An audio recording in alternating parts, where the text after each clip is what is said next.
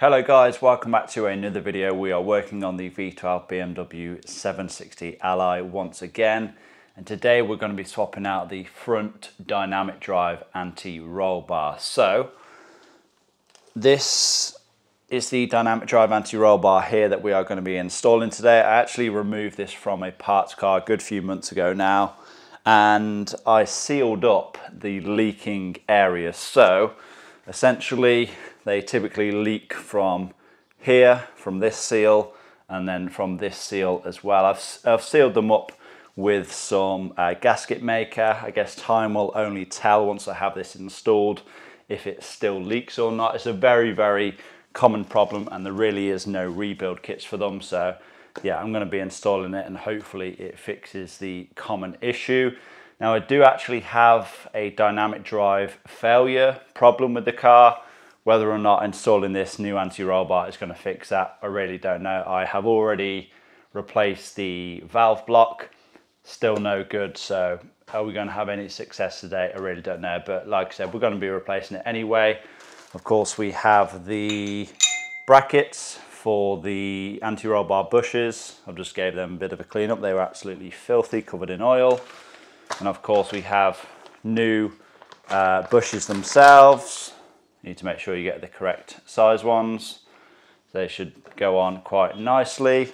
We also have, now this is called a fuel filter. This, you know, this part number shares, this, this part number is on so many different cars. It's just like a tiny little inline fuel filter and uh, it's not a fuel filter in our case it's actually just to vent the air out of the dynamic drive system so are we going to notice any difference with this nobody really ever changes these i guess they shouldn't really get blocked up it's only to vent air out but i don't know we're going to be replacing it um, today anyway and then we just have a little grommet to go with that just to hold it in place what else oh we have two new drop links to go on as well. Of course, Lemförder. They are the genuine drop links. Yeah, it's going to be a nice little front end refresh. So um, I think we should just get the car inside and let's get cracking. Okay, so as you can see, we have the car in the garage. It's up in the air, the front wheels are off, and we already have a problem. So I thought I would just have a quick look underneath just to see how things are looking. And I noticed those sway bar links or drop links, whatever you want to call them, are absolutely massive. They are so, so long. And I thought, I can't remember the ones I bought being that long. And yeah, they're definitely not. These are nowhere near the same size. And the ball joints are not even at the correct angle. So no idea which car these are off. They were said they said that they matched this reg, which Obviously they don't, so that was a lie. But yeah, looks like we're not going to be able to swap the drop links out today. I'm going to have to order another set and do them in a separate video, which is annoying, but there's nothing we can do now. So we are going to have to try and keep these sway bar links intact. I don't want to chew up the ball joint because I don't know how long it's going to be to get delivery on a new set of those, but yeah, we'll just move on with the rest of the job anyway. Now, the dynamic drive anti-roll bar is not too difficult to remove actually. There is pretty much just four nuts, so one there, one at the top, and the exact same on the other side as well. Now, of course, we have a couple of pipes to disconnect, so I'm guessing one inlet, one outlet for the power steering fluid. Then we are going to have to unbolt this bracket here, which just holds the pipes in place and then we have these vent tubes so these tubes themselves I'm going to keep these but these little brass or copper fittings they are I have those on the new anti-roll bar so I don't need to uh, take those off. I'm just going to loosen these and then this uh, vent tube should come off. But then we need to follow this all the way up and then it goes through here and then it stops in here. So we need to remove this cap and then there should be a filter behind there held in by a grommet so that's what we are replacing okay so as you can see I pulled this cap off I then revealed the filter and this grommet that holds the filter in place If we have a look at the date, 17th of December 2002. So this is the original filter. Now I have no idea if it's blocked up. It shouldn't really get blocked up because it should only have air going through this, but I don't know, we are replacing it anyway. Also went ahead and removed these vent tubes as well from the anti-roll bar itself, from these valves here. Just held in by a 10mm nut. Wind those out and this can just sit here while we get the anti-roll bar unbolted. Next I'm just going to unbolt this bracket here that holds this pipe in place. Looks like it's just held in by a 10mm bolt.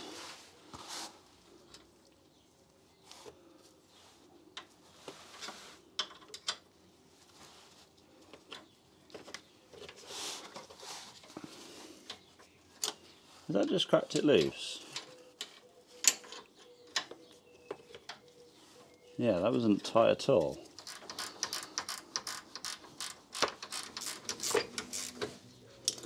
There we are. Is that bolt removed. Yeah, this, this should be away from the anti-roll bar now, which it is. Now I'm going to try and unbolt the drop link from the anti-roll bar. I'm going to try using an impact wrench first to see if we have any luck and this thing just spins off but obviously if it starts to spin the ball joint we're going to have to use the proper method and just you know get a spanner on here and then either a Torx or a Allen head and hold the uh, hold the ball joint steady. But let's hope and pray we can just get an impact wrench on there. 16 millimeter well, I don't think I'm actually even going to get an impact wrench in there don't think I have the angle for it.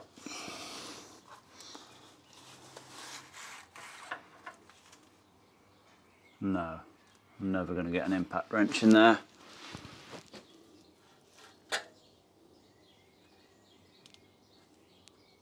Had a universal I would, but I don't, which is a shame. Uh, let's see if we can crack it loose with the breaker bar.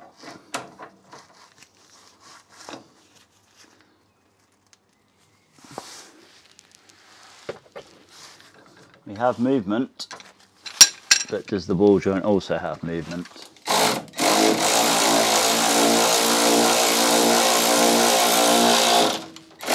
That's definitely spinning the ball joint.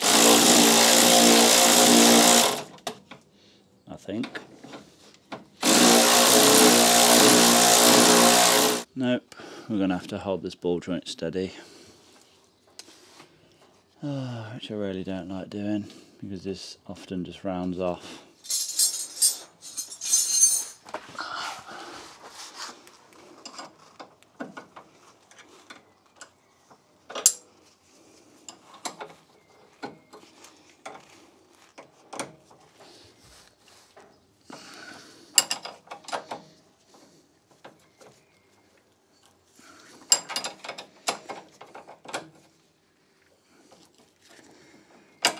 Like it's coming out actually. Not too many problems.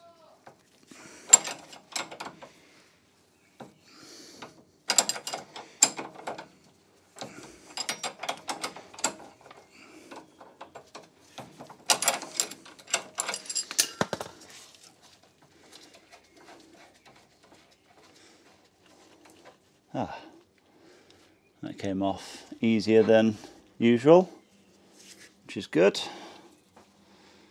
Floppy there, this anti-roll bar, especially at the top. Yeah, the bottom ball joint isn't the best as well. That's why I planned on replacing these. They will of course still get replaced at a later date. Now let's do the exact same on the other side. So breaker bar first. Hope and pray that the ball joint doesn't spin.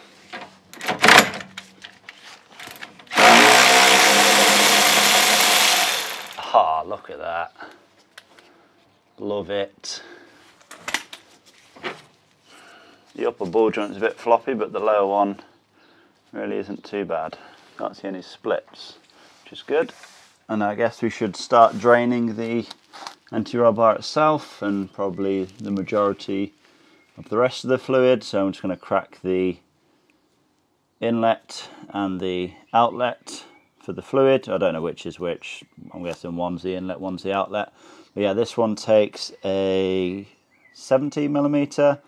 And I think the top one takes a 14 millimeter. Let's get a bowl ready because I do anticipate some spillage from here. Let's see how tight this is. Pretty tight, apparently.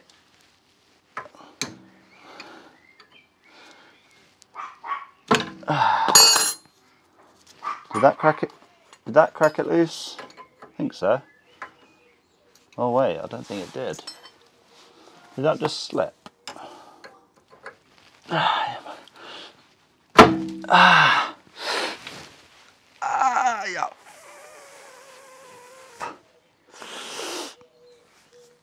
Ah. Please say that cracked it loose. Oh yes, it did. Oh, thank God for that. You didn't see that, but uh, I just got injured from that. that doesn't look bad, but believe me, that's sore. Ow, that hurts. I just scraped it off the bumper.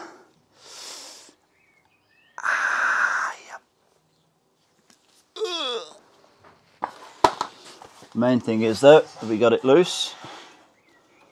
So I'm just going to remove it fully and leave this to drain down into the pan. Nothing.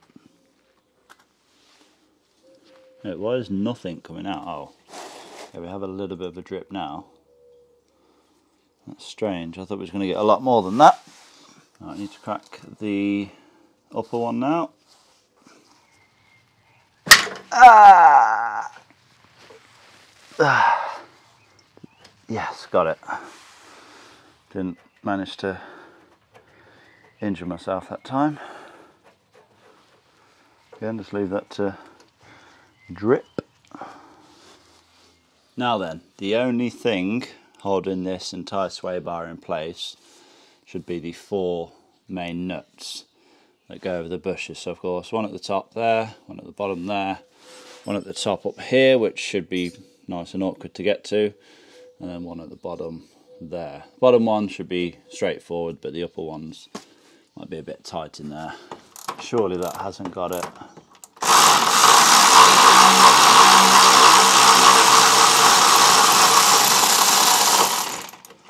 Wait, hold on a minute. That seemed way too easy. That nut did not seem tight at all.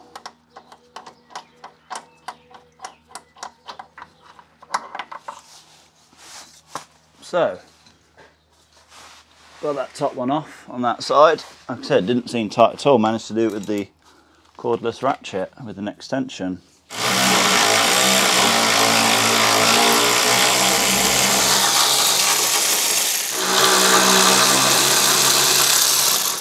Be all four nuts now removed.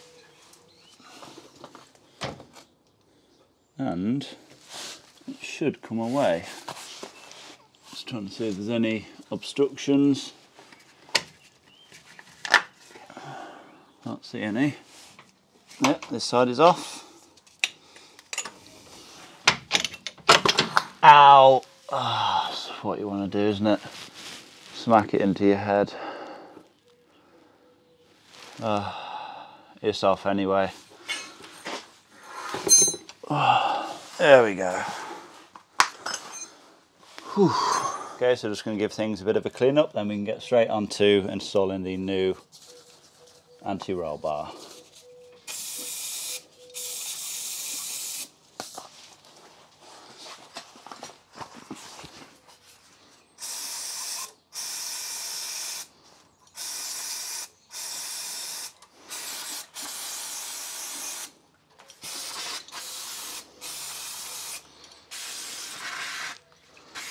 fresh anti-roll bar with new bushes going in place.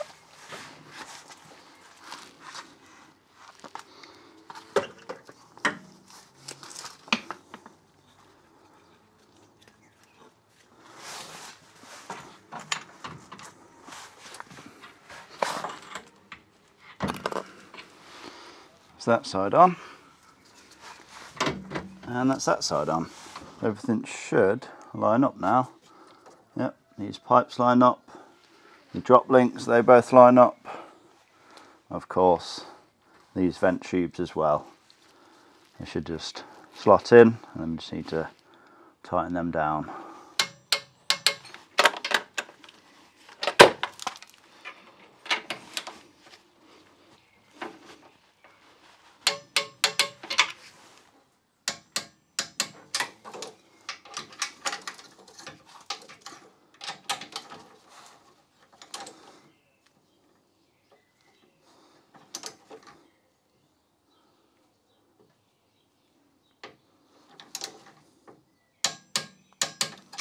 Okay, so the anti-roll bar is now bolted into place. All four of those nuts have been torqued down. I can connect up the sway bar links now as well.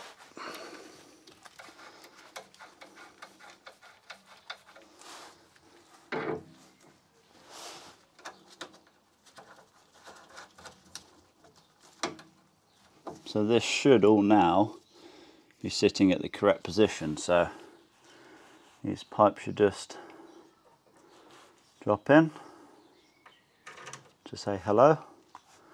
That's not right, it's the wrong way around. That's the upper one, that's the low one. Let's tighten off.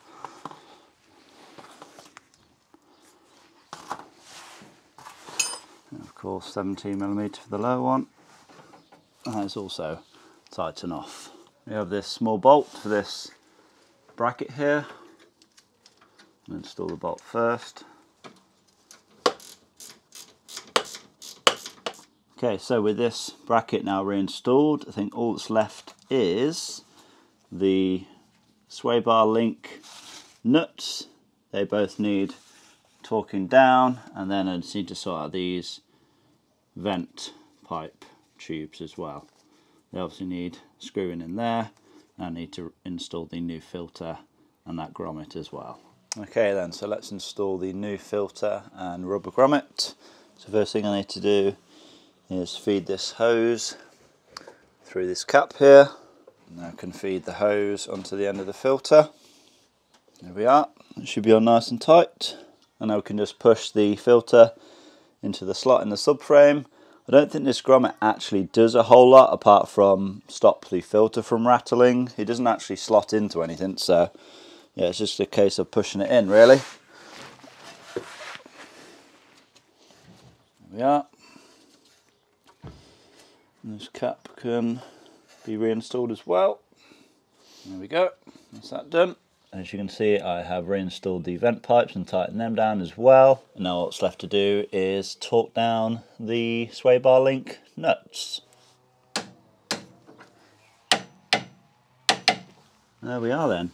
The dynamic drive anti-roll bar has been replaced. Just need to get the car back on the ground, top up with fluid and check we don't have any leaks. Okay, so of course the car is back on the ground now, it's out of the garage. I'm going to start the dynamic drive startup procedure. Like I said, I did try this when the when I replaced the valve block, but still no good. We was getting an error for a pressure build-up on the front axle.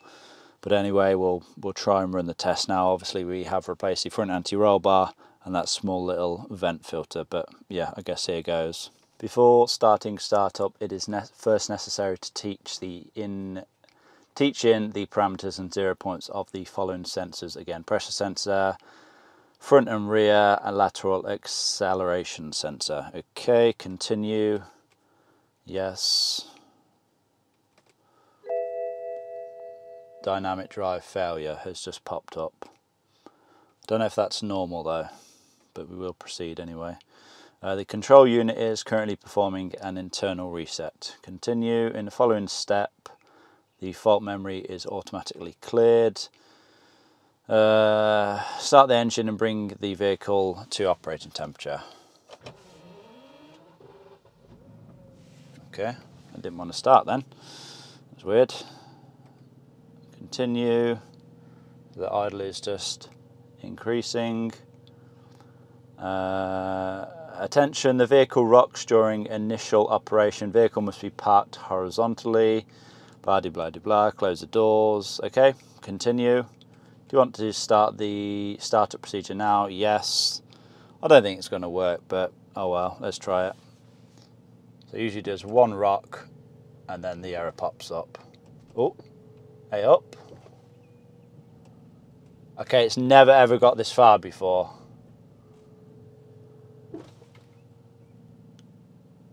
What's happening? It's working. It's actually working. It's never ever done this before. Startup was successfully started and now it's loading. Is that it done?